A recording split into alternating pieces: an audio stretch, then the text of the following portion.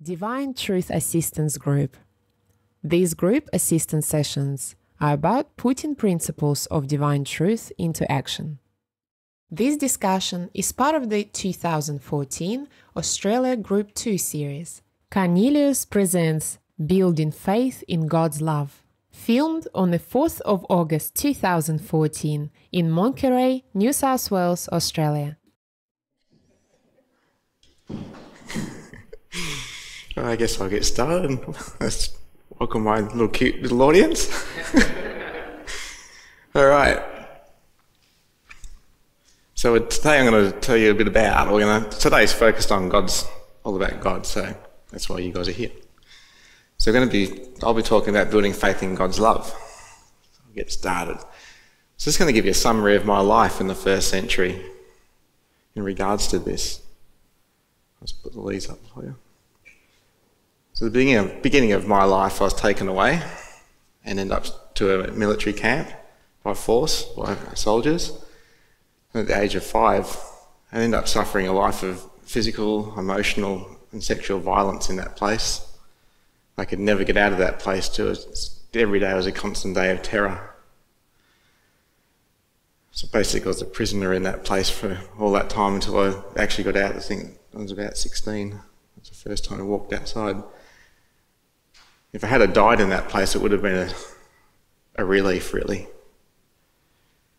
So in that place, we become emotional. I become emotionally sensitized. Any of my feelings are shut down by all the violence and things that happened to me.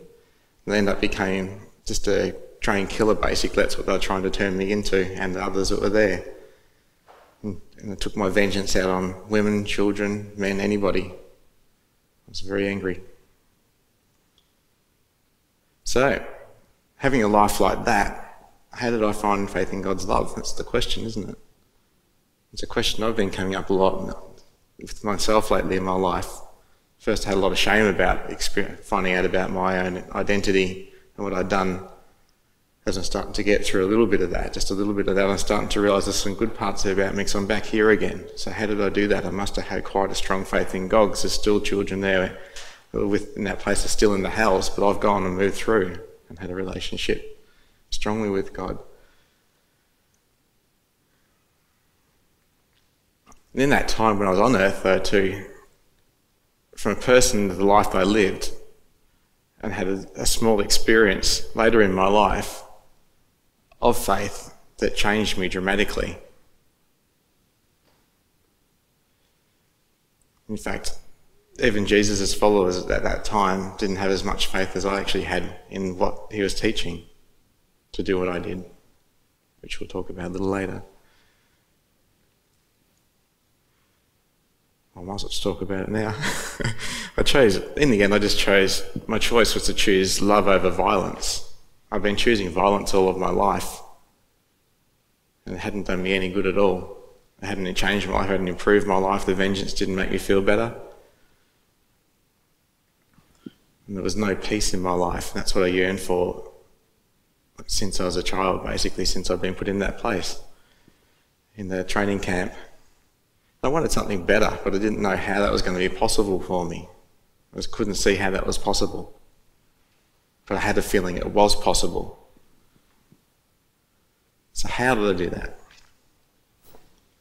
I come across a person called Jesus in the first century, which is standing right next to me here today, same person.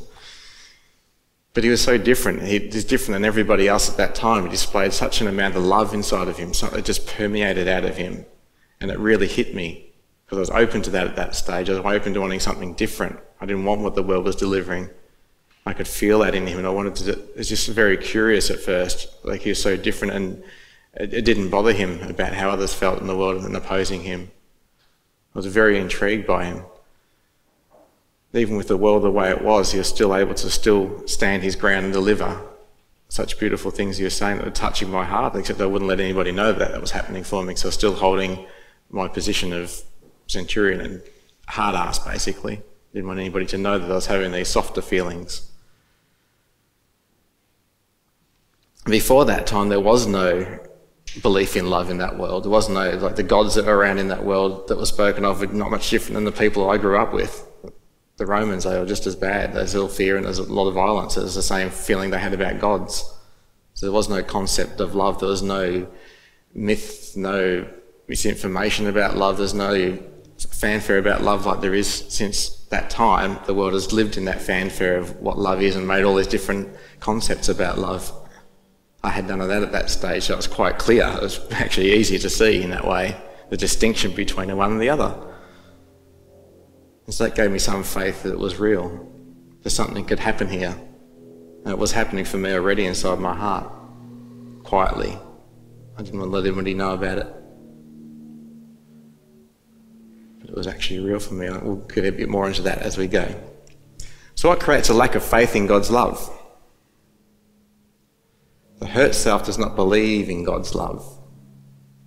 The hurt self believes its fears and its pains. It believes its fears and its pains are its reality. It believes it's bad, it believes it's wrong, it believes it's defective. The hurt self cannot feel God's love. Sorry, God's truth there, which is associated with God's love. It can't feel this because of the error that's inside of itself. It believes these things about itself that aren't actually true. And while it's got all these errors in it, God's truth cannot enter it. And God's love cannot enter it. God's truth and love cannot enter a place that's opposing to what God's truth and love is. And all these things are errors. They're stuck in the hurt self. The facade self wants love from everybody else other than God. Is another thing that creates a lack of faith in God is the facade. The facade self, the adult-like self, believes that the hurt self, which is the childlike self, needs protection from its feelings and pain. Believes that's the answer to, to keep the hurt, the hurt away, just to create a facade to try and avoid the pain, avoid the pain. It's almost like throwing a kid in a dungeon and just not wanting to hear from it, not caring about it. Whenever it cries, it puts another facade on there. Shut up. Don't want to feel you, don't want to hear you. The facade self believes that the way to help the hurt self is to feel good, is to get love. The, sorry, the facade self believes that the way to help the hurt self feel good is to get love elsewhere. And what have we learned about that this week? How do we do that one, Lani?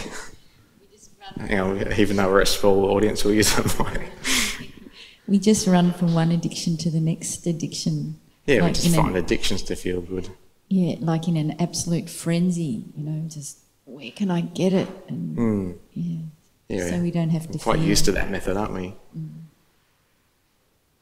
So there we go. The facade self creates addictions to meet its erroneous conceptions. We're never going to find faith. The only faith we have in that system is a faith in addictions. We don't have any faith in love or any faith in God's love in particular. Yes, sorry, yeah. Catherine? Sorry, can I just go back to the hurt self again? Yeah, sure. Um, it is the hurt self that will first feel God's love, though, isn't it? Not the facade self? It's the real self that will feel God's the love. The real self yeah. feels God's love. Yeah, you need to experience the hurt self first to feel the real self, and the real self can have a real experience with God. Thank you. I'm correct on that. Is that correct? Just double checking here. yeah, Anto?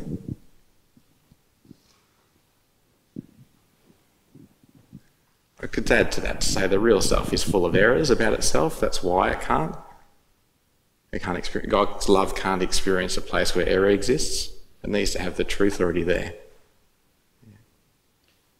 So, in your real self, is there a part that may be unharmed that then does want to feel and receives God's love initially as a first beginning? Totally. And, yeah. and in your first century of life, when did you receive God's love and you knew that you had actually received it? Um, I don't think I did on earth, but I learnt some things about God some truths about God and started seeing some things that gave me some trust that there's something might be real here. I need to go and test those things. It wasn't until later in the spirit world where I started to have some faith in God's love. What I got told didn't seem like even the truth. I was quite angry when I ended up in the spirit world because it felt like it was all just bullcrap. And it took me a lot of years to, to work through a lot of my anger about a lot of things. And then to have some more experiences come to me as well. They're from people that were teaching me earlier when I was on earth.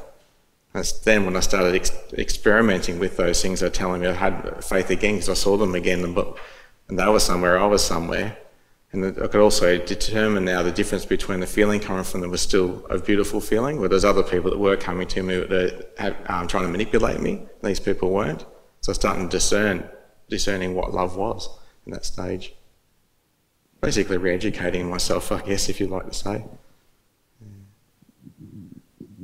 Had a lot of damage to deal with before that. Yeah. Jules?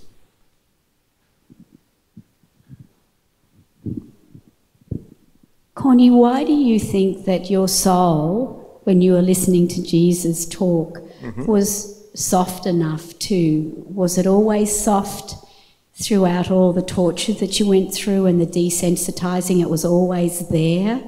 Or, I don't know. It, you know I know you don't, like, it's my soul. I know that's I know, true. Yeah. so I'll yeah. tell you about it if I can. Um, uh, we'll go through that a little bit as we go, oh, okay. but I might as just say a little bit about it now. I did have an experience of love earlier in my life. Like in the first five years, I did have some parents that did have some kind feelings towards me, and that's what it, that's the biggest difference I feel that changed me. That just having that little experience, that tiny experience of it, had that little spark still alive somewhere inside of me, and to to know it to start off with, it if I didn't have that. Like a lot of the other people around me in that time when I was in my 20s, like it, when Jesus was speaking, didn't even have that experience. So they wouldn't, they, it's hard to see the comparisons, I guess. When you've had a little bit of something, then you lost it completely, then you see a little bit of it again. Yeah. It comes, oh, here, it comes back quite, like, very curious. Like, what is that feeling? That's, and it starts to be um, really stirring the pot, I guess. Yeah. I wondered if that's what it was, if there was some sort of type of love back in your early childhood before you were. Yeah, just a little taken. bit of it, particularly my father, actually. Yeah, he ended up dying coming to try and get me out of there. There's a lot of, he just couldn't stand for that, that happening to me, even at the expense of his own life. There's a lot of love coming to me from him, even though we couldn't see each other, there's still a feeling. So let's move on. What are we up to? So, when did faith in God's love disappear? Does anybody kind of know? I have a clue. I'll throw one up. Yes, Catherine? It disappeared when we became hurt, when we were uh, abused or whatever. Yeah, spot on. Yeah, that's right at conception, isn't it? as soon as we were incarnated into the parents' body, we started taking on their feelings about the whole world, about their feelings about everything, really. And it started damaging our souls straight away. So when, so also when, also when um, we have that hurt inside of ourselves, we start to create a facade. and start taking on the world's beliefs about God. Then, like we have our parents' beliefs at the very beginning, straight away. And as we start growing up, we started. There's already damage there, and so the potential for having a, a relationship with God is quite small. But when we start finding out the world's beliefs about God, which is quite huge, it starts almost reinforcing that feeling and it just potentially just wipes out the chance of having a relationship with God because it becomes so reinforced about all the errors about God and there's no possibility of love at that stage once the facade starts taking over and controlling. Yes, Lani? So what's that little, even though you can feel all the worlds, you can feel all the hurt and the, the facade, there's still that little part inside that it's kind of like this bit of sand inside that, you know, won't go away and you kind of know that it's something more, you don't know what it is. Is, is that something to do with, I don't know, the real self or something reminding you that it's, I'm still here, even though I'm underneath all of this hurt. Maybe you just don't believe the bullshit as much as I, I don't know. Yeah. yeah. Just there's a desire, I mean, just a little desire to find out a bit more about the truth. It's a big thing that. It's very, very strong. Your desire is massively strong. It's a great quality to have. And it will take you to where where you want to go with it. If it's a loving desire, like a desire for want to know more about love and want to have more truth in your life, it's going to lead you to the right places. And welcome here today.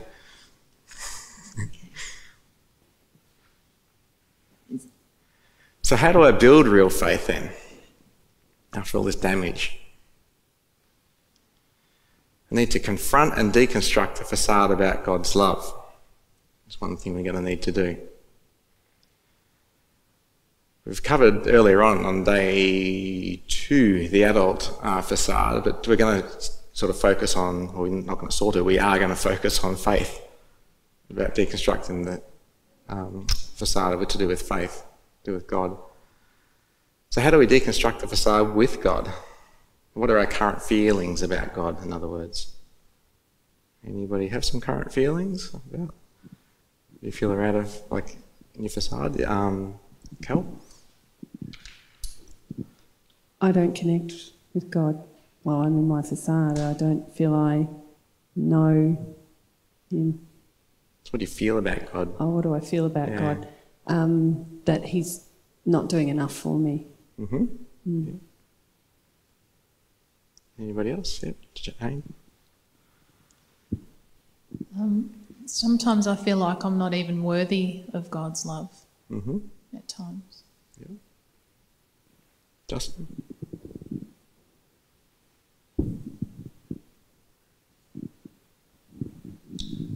I feel quite annoyed at times because I feel like God's just hanging back, Yep. like, and not Wants to coming to me Uh-huh. to meet me where I am. Although that's just That's they're totally that's, facade. that's what I that's what I feel anyway. Yeah, no, it's great. Oh, it's not great, but that's a good answer. Yeah. so, what emotions are related to the facade with God? What do we feel about God now in our facade, Jules? Uh, when I'm in the facade with God, I tend to believe what I was taught through the through my religion. You know that He is punishing. You know that I see His laws are punishing, and He's wrathful, and it's deconstructing the emotions that are in error that I still hold through. You know through the uh, introduction to religion and how they have taught God. So that's They're still pretty strong, huh? um, do you know when I'm in the trough going down with my relationship with God, they're pretty good there, and then I've got to do the climb back up. So they've got good old diction going on with God there. Make me feel good, then I'll forget about you. Yeah, well, it's more when I want to go up, I start wanting to believe the truths, and I go to the truth, you know, the how He cares for me and loves me. Ah, yeah. That's what I mean, that when I start getting out of the trough and going back up Right. again. But when I'm down there, I feel all of those Gotcha, yeah. punishing emotions Hmm. that I know are fake. Yeah, so there's just no faith in God at all at that stage. That's it. Yeah. at that stage, yeah. yeah. and the trough is like this, it's up and down. Yeah. so, what emotions drive addictions with God? What do we want from God? Catherine? We want him to fix all our injuries and we Yeah. don't want to look at them. Mm-hmm. Oh, Lani is right next to you. Just want him to do all the work. Just take Yeah, it away. definitely. Get a magic wand. Yeah. Someone over the side was there. Anto, was it? Yeah, I was going to say the same thing. Um, I just want God to do it my way. You know, I want Him Mm. to see it how I, my view of love, and Yeah. um, which is not love, but It's like to try and control God and push him around a bit. Yeah. Yeah. Do it all for us. Yeah, these are pretty common, aren't they? Yeah. How do you think God feels about that? Reckon it's going to work? Fat chance.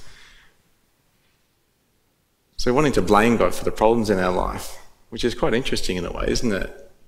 In the facade, we don't even really believe in God, yet we want God to fix everything up. It's the good old facade is so logical. So, end up having addictions with spirits who we feel are God. Why do we do that? Cal, tentatively put your hand up. Um, I'm just desperate and trying to feel good, and I don't, you know, know what to do next. Mm. And spirits are gonna. How long is it gonna take to get a feeling for spirit? Make you feel good? Yeah, Pretty quick. yeah. How long is it going to take to get a good feeling from God? yeah, A but, long time. uh, how much work's involved in that, both of them? Mm. So we're not going to get a lot of faith happening there, are we? We're going to get a faith, lot of faith in addictions in the end. Oh, here we go. Experience of my life in the first century in regards to deconstructing the facade. Um, um, um, um, um, um. I guess, Jules, what you were saying before, like uh, asking a bit about that. Um, my feelings probably maybe a year before a lot of things happened for me. I was just getting, I was getting tired of my life. I was getting, um, there's no satisfaction. The satisfaction had gone off a long, the vengeance feelings were, you know, done and busted and hadn't done anything. Still had a lot of hurt inside of myself and a lot of um, despondency about, I guess, life. I started becoming sick of what I was doing. I had no desire for doing what I was doing anymore. Um, so a lot of things started happening. Oops, excuse me for touching my mic. Um, yeah, so I started becoming sick of my life and just like sort of sad, I guess. I started feeling a little bit of that, I guess, in that time. And we got end up getting, by chance, what you would call law of attraction, which you'd be correct, um, getting stationed to Jerusalem, which happened to be where someone was talking about a lot of these things. A lot of other things started happening in my life then too. There's more emotional stir up going on as well. I'd, when I just got there too, I'd, um, I- met a lady that actually touched me. Was when I was trying to fix up a wound on my arm. I was sitting in a tavern. And so the first reaction is to just take a swipe. But it's just a, the feeling coming from her was just gentle. I've never experienced that from a woman before. Usually my experiences with women were during rapes actually, and them trying to fight me. And this woman just had it, and then the look in her eyes was gentle too. It wasn't like a um, a fear look that I'm used to seeing. And this was, that was that stirred a lot in me as well. And the touch was a letter. I actually let it fix that up. It was very like I was a little bit scared. I guess you could say that too. Um, having a, a gentle feeling happening to my skin. It's always been violence. Yeah. Um, and my mother also came and visited then too. I hadn't seen her for 20 something years, 23 years or something like that, a bit more than that.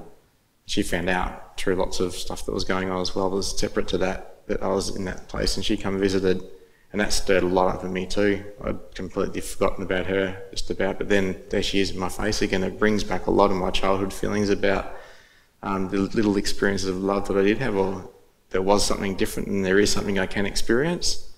And a lot of things are getting stirred up at that stage.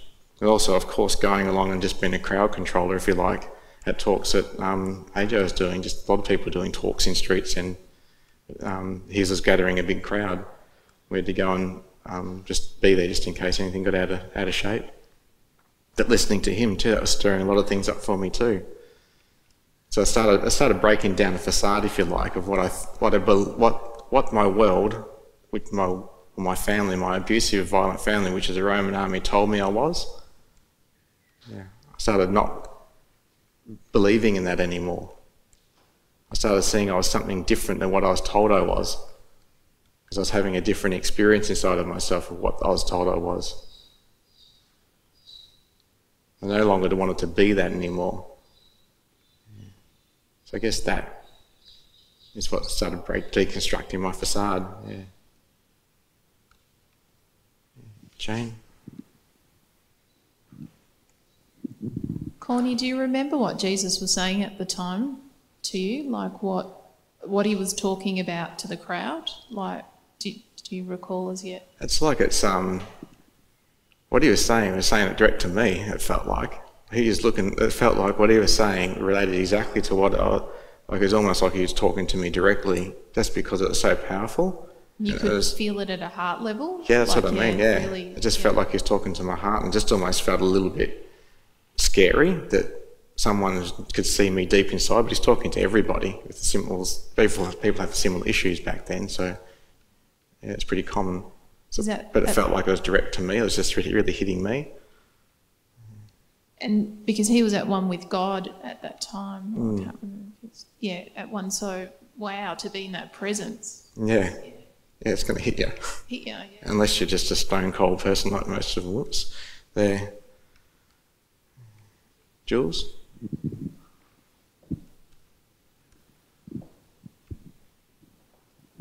You know, it was interesting when you were talking about it and you had the wound and the woman came with gentleness. Just the power of love Exactly. in that story. this is the biggest thing. This it is what was, yeah, the power. passionate I about, doubt yeah. it so much, the power of love, but here I'm listening to somebody and their life and just what the power of love ended up doing that changed you and ended up in the 20s, 36th sphere or something. That saved me many times in my life.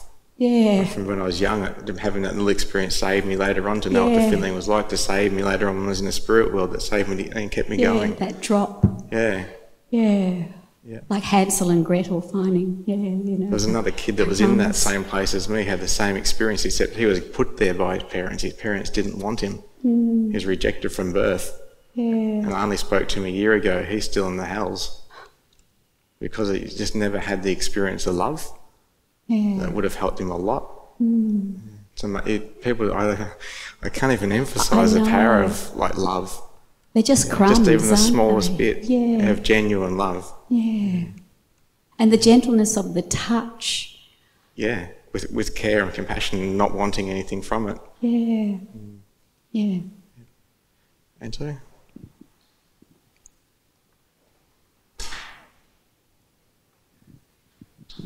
So, Connie, when you were, you, you could feel that you you could receive love from another person.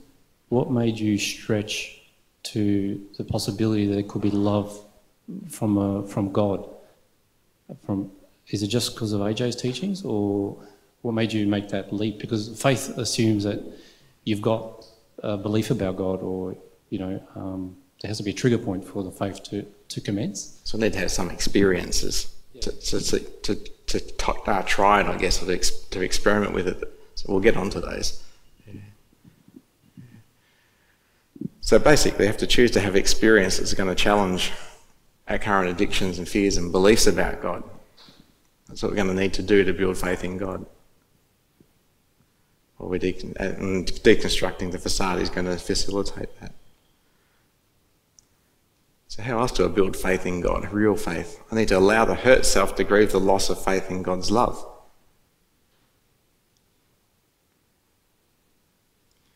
Hurt self has not felt a real loving relationship. Not even from ourselves. Or we build a facade, we're trying to say no to the like, just don't want to know about it. Just don't want to know about our real selves, don't want to know the hurt that's in our real selves. The facade's there to try and avoid it and get away from it, thinks that's the way it works, but it doesn't.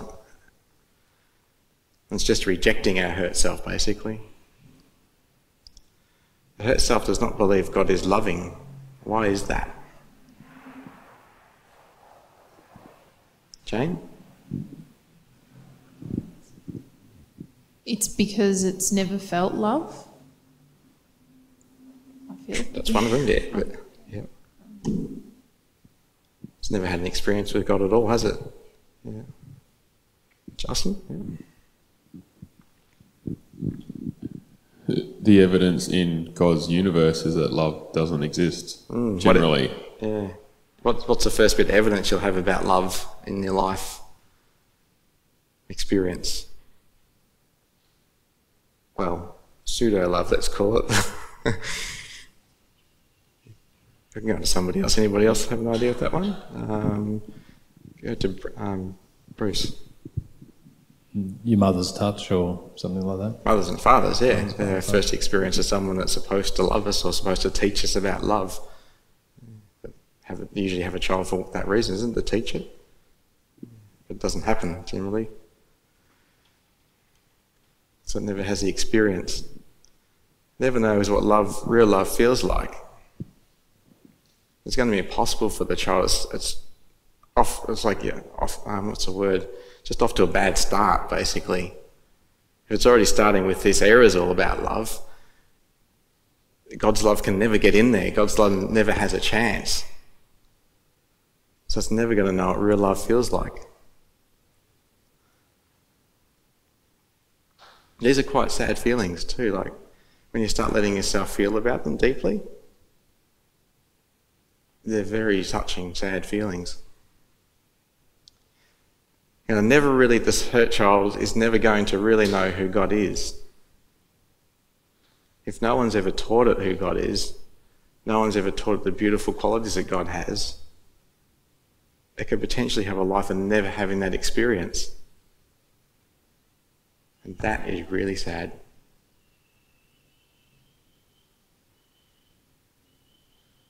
To know that, and eventually when it does find out, to know that that was available all the time for it, but no one ever, no one ever knew about it. No one ever told anybody about it. No one never told the child about it.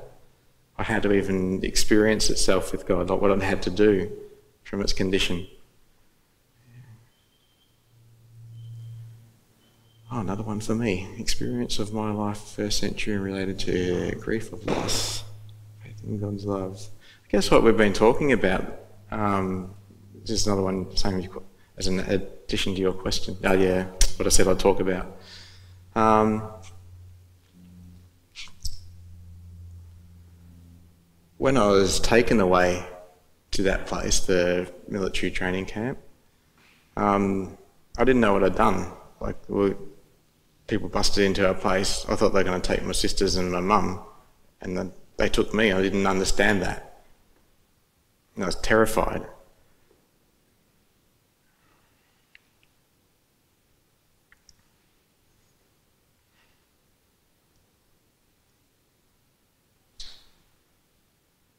Just for days and days and weeks and weeks and then into months, just that the, um, feeling of not knowing what I'd done wrong not understanding and just hoping that someone would come and get me. It's just this hope that one day someone's going to come and get me. I thought maybe it's just for a little while, maybe I've just been punished for something I'd done. I didn't know what it was, but just maybe that's what's happening. And while this violence was going on towards me in that place, I just kept on just hoping, I guess, that someone would come and get me. And know, when you hang on to hope for a long time, it starts to fade and drift away a little bit. And there's one feeling I did not want to feel in particular. I was avoiding it at all costs as a thought I would not allow into my head or my heart. And that feeling was that no one's come to save me. No one's taken me out of here. And that's, I guess, where I lost any hope that there's love still available. Any love for me. It seemed like the opposite was for me violence.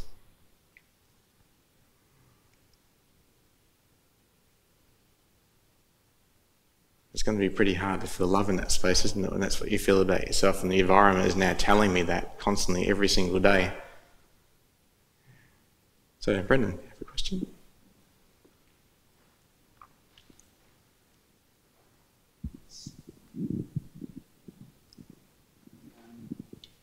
Yeah, your dad came to get you. Um, mm-hmm. Was that loving or unloving, considering I may do the same thing for my kids, but he left the wife and sisters behind, um, possibly knowing what might happen to them. They did have that feeling and they didn't want him to go, but they were more scared about themselves. My mum had no love for me, less love for me than her own fear. So was it loving for him to yes. come to get you? Yep. I feel so anyway. Maybe I'm invested in that. yeah, no, it's just I was just wondering about the other. Bloke. We're standing up for truth. It's not. Would it, does it feel wrong to take someone's child out of their home and take them away for unloving purposes? I'm just reflecting on what AJ has said, and I haven't grasped it. Um, you know, you don't don't interfere. Uh, I'm just a bit confused on. Can I interject? Yep. Brendan, I think this is a bit of baggage from last night's commentary that uh, you you haven't felt about properly, and so you're trying to bring it you, you're trying to work it out in this setting, and I think the two two issues are quite unrelated. The example in Cornelius's life and the example in yours. And I'll be happy to chat to you after if you'd like a bit of clarity on that. But I feel there's some feelings that you just need to feel about the comments you received last night in the group and historically about your kids. All right, I might just keep moving on because we've got a short time today. So, how do I build real faith? Another way. Another ways we can do this. We've done two of the ways already. So, we need to lovingly re-educate the hurt self about God's real character. To learn a lot of false things about God's real character. Now we need to re-educate the hurt child about what the truth is about God. If we're going to have a relationship with God, and we're going to learn, we're going to end up building faith in that relationship that God can actually love us. So hurt self never experienced a loving parent. So we now are going to have to be that loving parent and teach it the truth. The hurt self does not know what a loving parent feels like. It's never had the experience yet. It's felt what a parent that has erroneous beliefs about love feels like the erroneous beliefs about love don't contain love.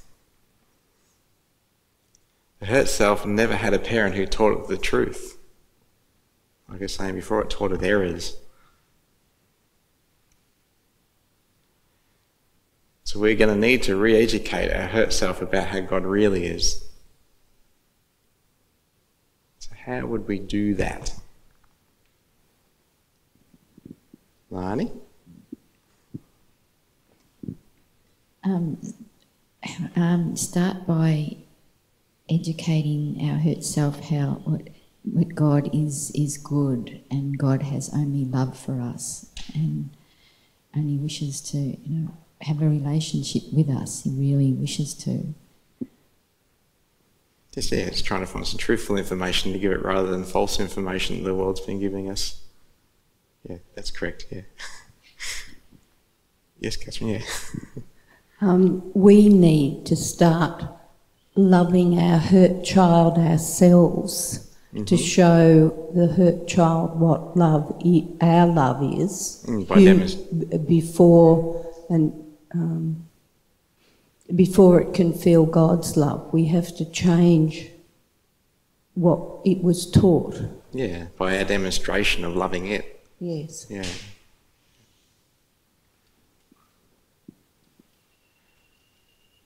No one else did this in our childhood, but we can now do it in our adulthood.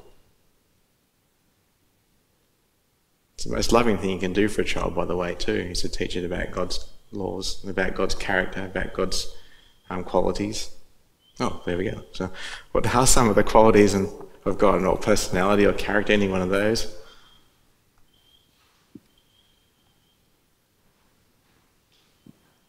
What are they? Yeah. Anybody? Um, Jules, and then. Well, love, loving, being a loving parent, mm-hmm. caring. Yeah. Um, there for you. Yes, interested in you. Yeah, interested in you. Mm-hmm. Um, it's all right if you. Um, th- yeah, um, I've only got good. to the. Oh, that's good. is that? yeah. Brendan. perhaps teaching by example, um, children. So if you're a good example, then they'll. they'll this is just God's qualities at the moment. So God's yeah, so, yeah. yeah. So perhaps I'm still stuck back. Yeah, it's all right. No worries. Let's go over to Jane.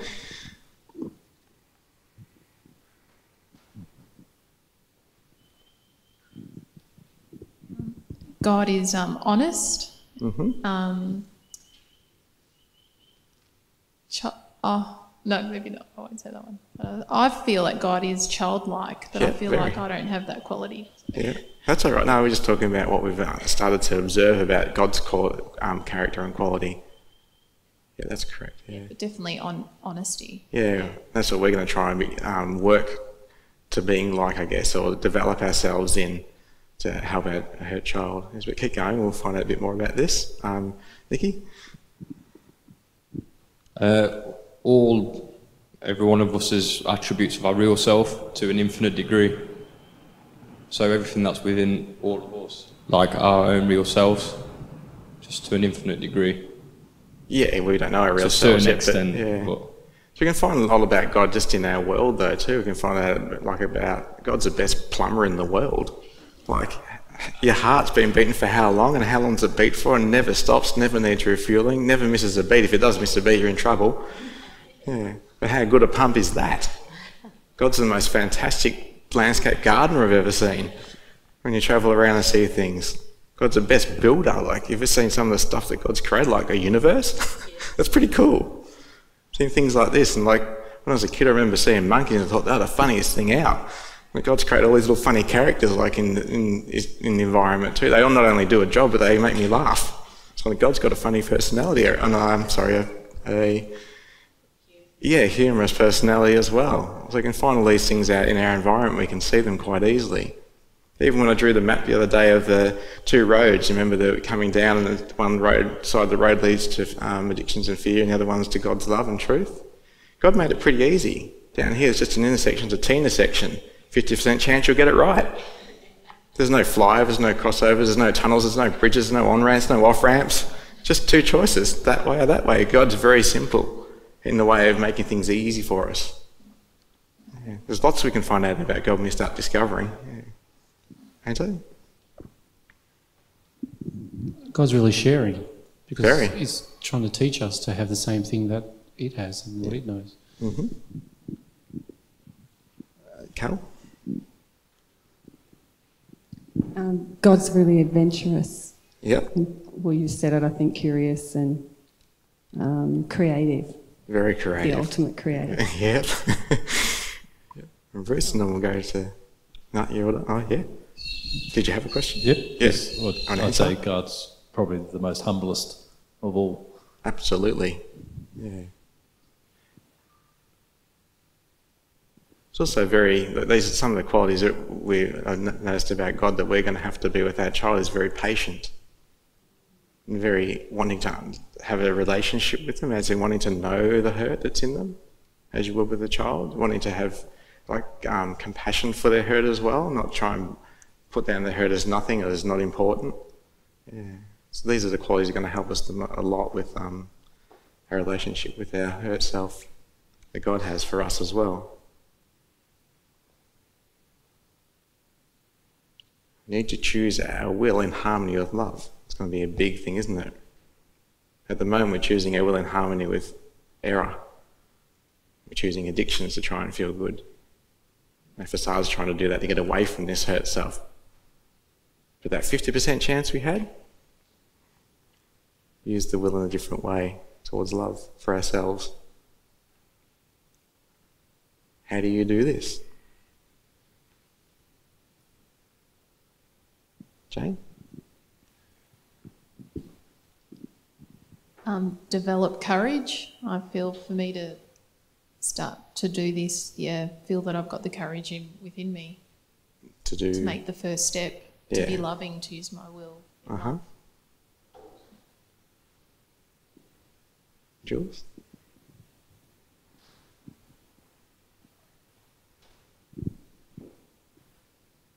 Um, I feel that it's using my will to discover uh, the truth of God, the truth about God, rather than using my will to discover not the truths of God. So to take that turn to the right and go, this is where I'm going to go, and to have the dedication to keep going, to keep that, that desire. You know, even when you go down in the trough, to know, okay, there's, it's going to go up again. So to have that will and desire mixed with the courage to keep going. Hmm. We're going to have to get rid of some of our facade, aren't we, to do all this Oh, yeah. as well. We're going to have to look at, like we've learned about, how we use our time as well. We have to be starting having real personal discovery about ourselves. So So, how do we build real faith? Another one is embrace emotional experiences with God. As we start to go through our hurt, and as we start to discover more about God and wanting to feel some of our hurt, we're going to have a lot more experiences or possibilities of experiences with God, as in, did I write that up there? Yeah, the feeling, the emotions you'll feel. As in, you'll have, like, say before, when I was talking about some of the things I've noticed about God, there's a lot of joy feelings, and embrace those feelings about the character of God. A lot of trusting God, like these laws are set up for love. God's trying to, this, God, this God's trying to lead me towards love. Oh, how about that? It's having those the, the, real genuine feelings about what God's trying to do, what the God's real personality and character, have it emotionally. And you start having some trust then, at least.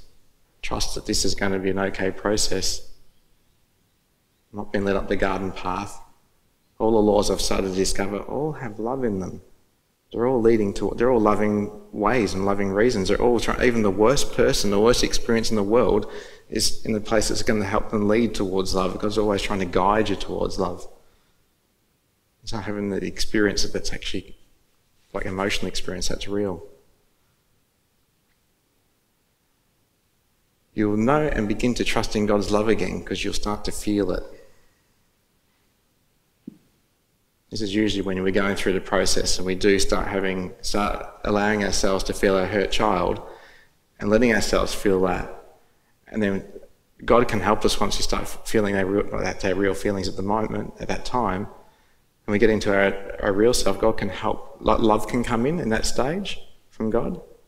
We want to discover our real self and go let ourselves feel those hurt feelings and block our real selves. That's when we can have a real experience with God. This is where faith starts happening real faith.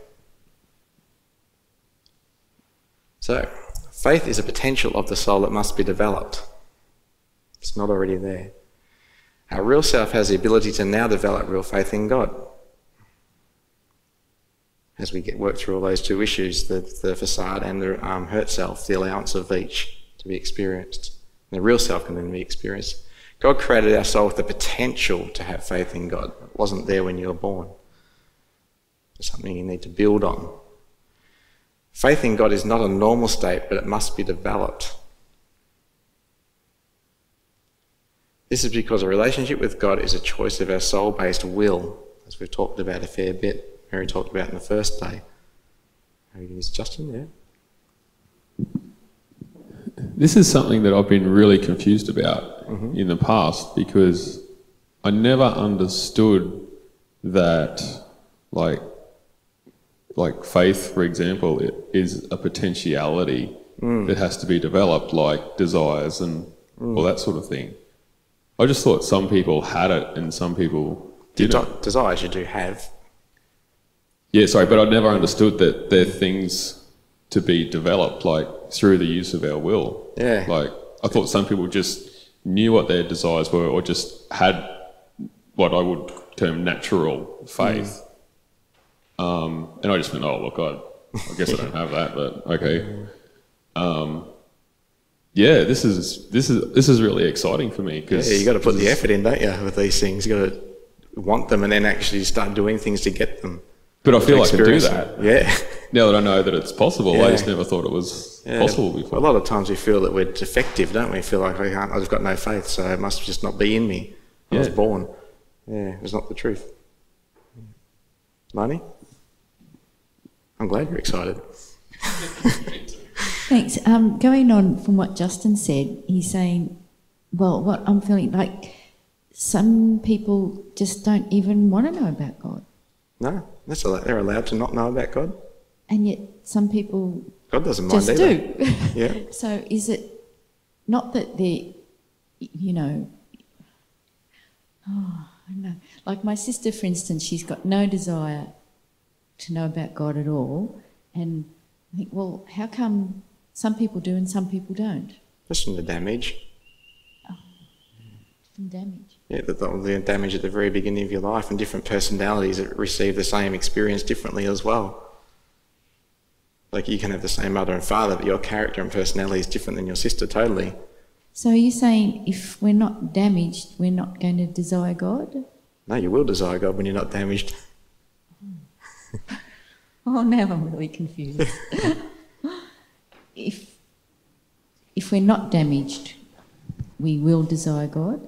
That's what we're trying to work back to. That's why there hasn't been a desire in the very, very beginning for God. You have a, a, a curiosity at the moment about God. Yeah. Yeah, Mary? Can I help clarify a bit, Lani? I think I know what you're asking. You're asking why do some people have seemingly an interest in God and others don't? And Corny's trying to say that it's the damage within us that creates a resistance towards a desire for God.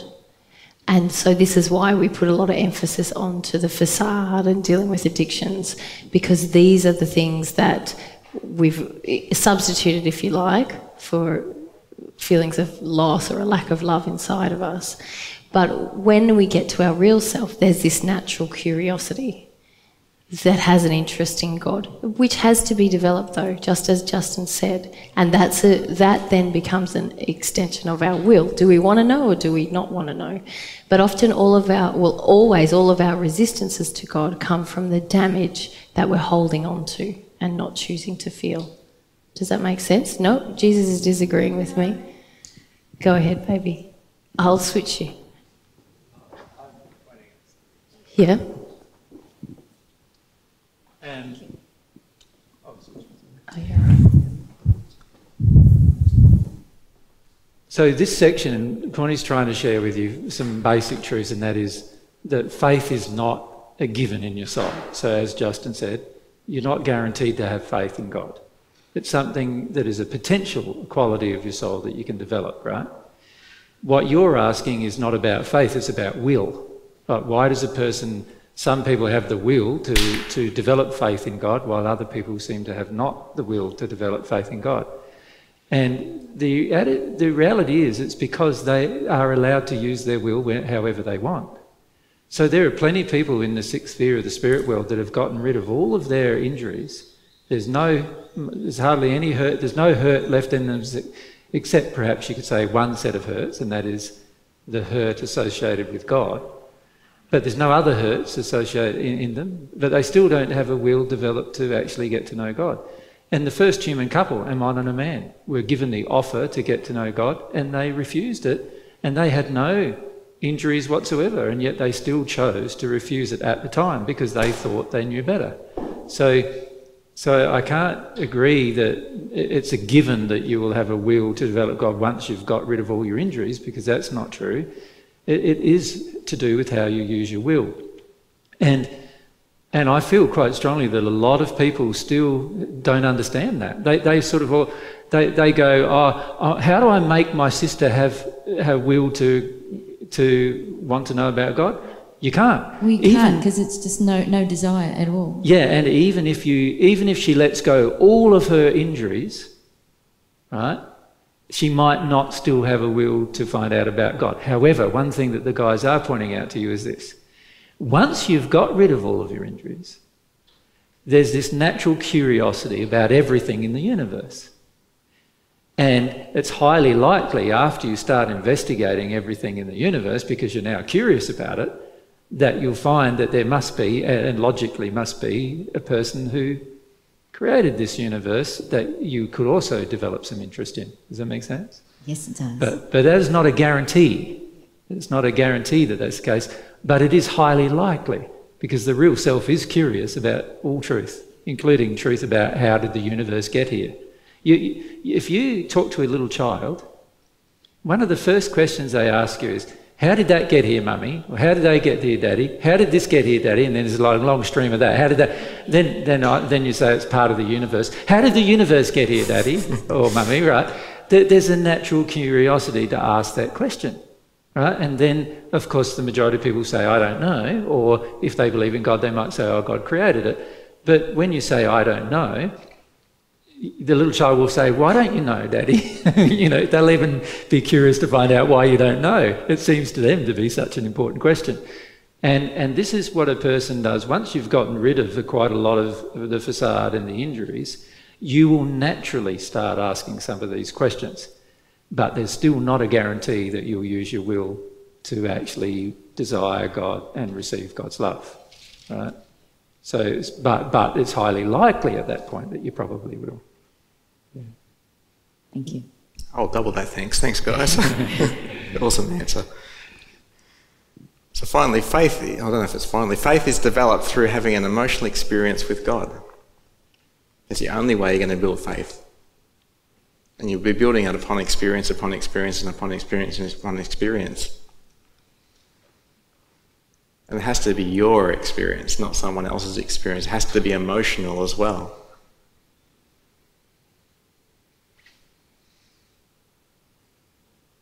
So embrace these emotional experiences. Alrighty, conclusion. Reversal of our lack of faith must proceed in the opposite order it was created. The adult facade placed a layer of resistance to our childhood experiences. The adult facade must be experienced and deconstructed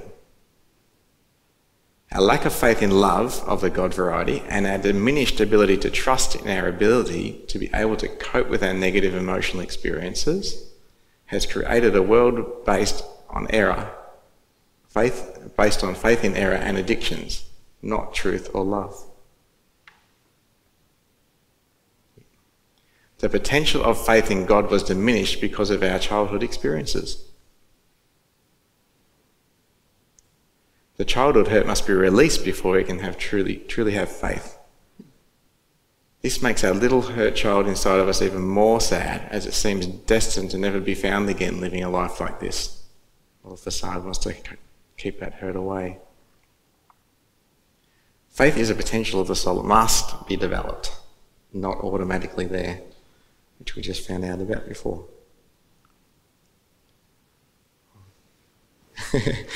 I'm just going to give you a little quick, um, what would I call it, a visual analogy, just to wrap up what's written on there, just in case you don't understand it. So, imagine my shirt is my facade. Got that? Part of the analogy. My t-shirt is my hurt self. My skin is my real, my real self. So, hey, how am I going to get to see my skin?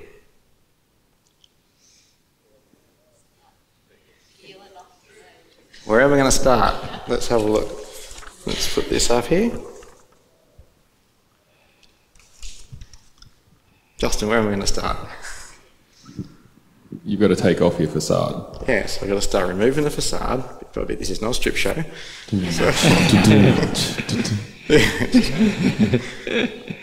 and as I start to work on my facade, it starts breaking apart. I start exposing something. What is it? My hurt self. As I want to start experiencing this hurt self now, I start, ex- start letting myself feel the hurt, what am I going to experience then? We don't know. the real self. And when I get to experience my real self, I can have a relationship with God. I can experience some of God's love in this stage. Then when I experience some of God's love at last, what am I going to end up with? Faith. so there you go. You understand the process? Yeah. And we can, we're going to repeat this process too, because oh, as we as we go through our life, there's another facade we've got to we'll find out about. We'll start working through that, expose our hurt self, once you go work through that again, we'll find our real self, and we end up finding have, we'll end up having a relationship with God. And by that, that process is the only place you'll have a relationship with God, the real self. Yeah, yep. Repetition. All right, guys, I'm done now. Thanks very much. I'm glad the props held up. Thanks for your company. And Mary will be coming up next with strengthening our will to receive God's love.